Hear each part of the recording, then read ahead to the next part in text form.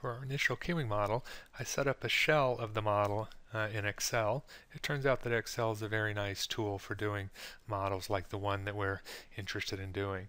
Again, what we're interested in is a basic utilization model. I'd like to be able to estimate the utilization of each one of our stations in our operator. And we'll use these utilization estimates later on to verify our simulation model. And so I've copied the processing time and arrival rate information just for part type A uh, into our model. And what I'm going to do is calculate the total time by summing the setup time, the process time, and the teardown time for the cut station. And so this tells me that each unit of part type A requires four hours on the cut station. I can copy this formula in our worksheet and see that it also takes 4.8 hours on the welding station, 4.8 hours on the shape station, and 2.8 hours on the finish station for each part type A uh, that I produce. So now that I have the processing times per part, I can convert that to units that are more amenable to calculating the utilization. Recall that the utilization is the time that the station is busy divided by the time that it's available. So in order to compute that, I need to have the times rather than in units of per part, I need them in units of per day. So I can easily get that by multiplying the time by the arrival rate. So for example, at the cut station, I simply multiply the time by the arrival rate and now we have the units that we're looking for of 1.6 hours per day of the cut station's available time is consumed by part type A. Similarly, I can do the same thing for the weld station, the shape station,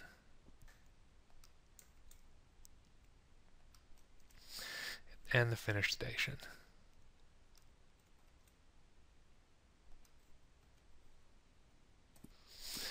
So now I have the number of hours per day by station required by part type A.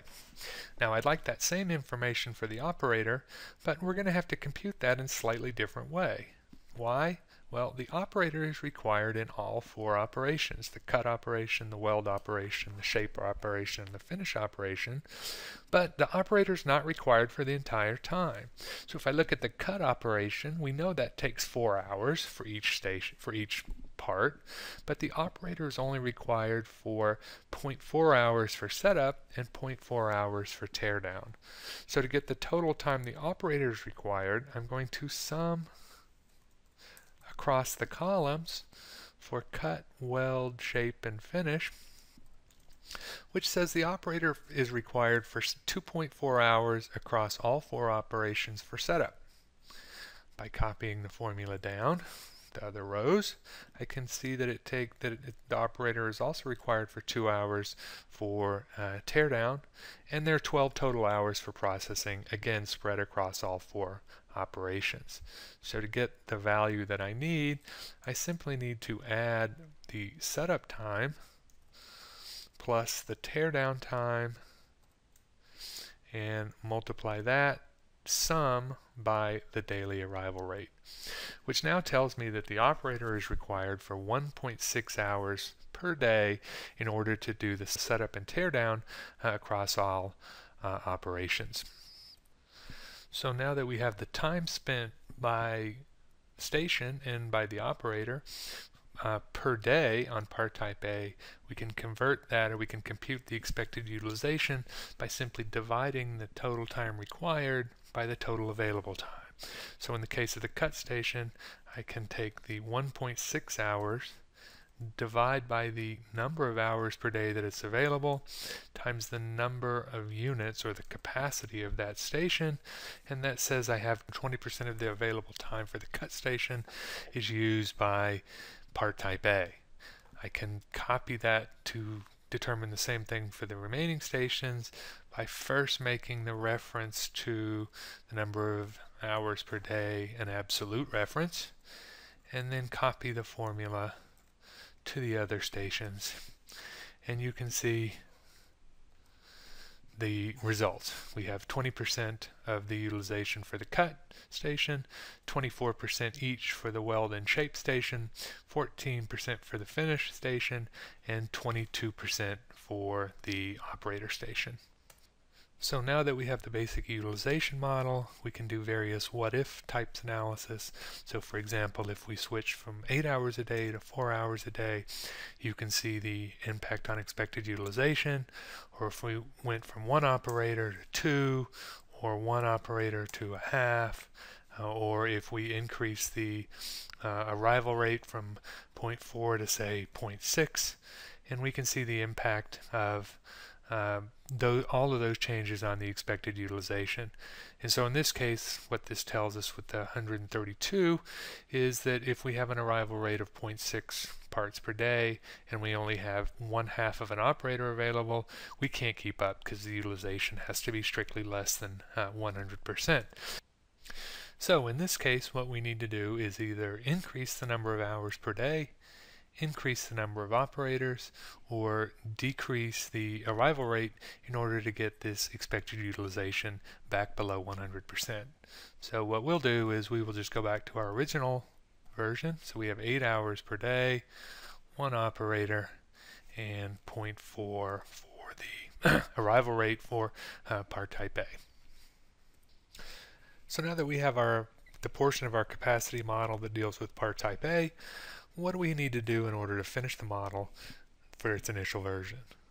Well, certainly we have to add part types B, C, and D because they also will require capacity on all four of our stations plus capacity of our operator. So if our goal is to estimate the expected utilization for a particular uh, arrival mix, we need to incorporate that information. And you should try to do this as an exercise.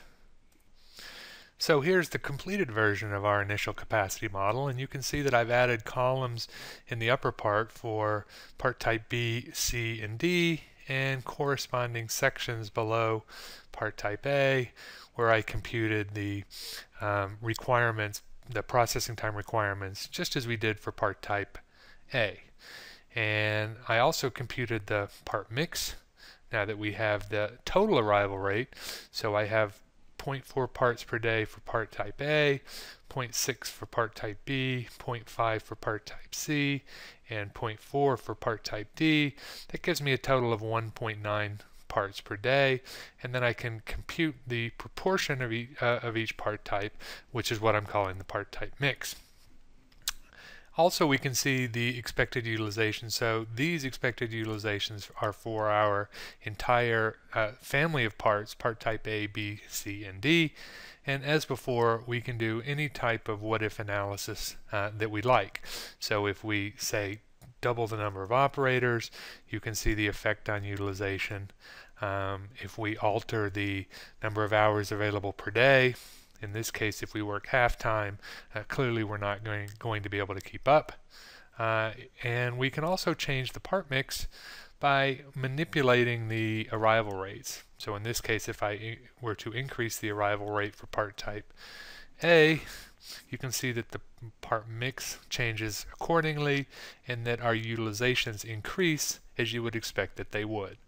And in this case, it's clear that we would probably need two operators uh, as a 98.5% utilization is fairly high. So we'll come back to this model. As I said, the purpose of use of this model uh, is to do some preliminary analysis as well as to verify the simulation models that we will work on next time.